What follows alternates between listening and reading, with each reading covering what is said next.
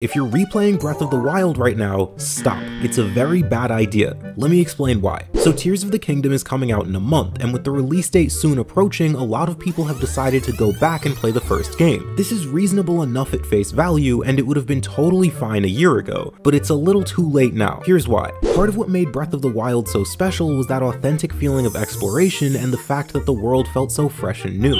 Tears of the Kingdom will likely have just as much freedom, if not more. However, it'll also share the same world. The problem here is, if you play Breath of the Wild right now, that world won't feel nearly as fresh when Tears of the Kingdom releases because you just spent 50 hours in it. So trust me,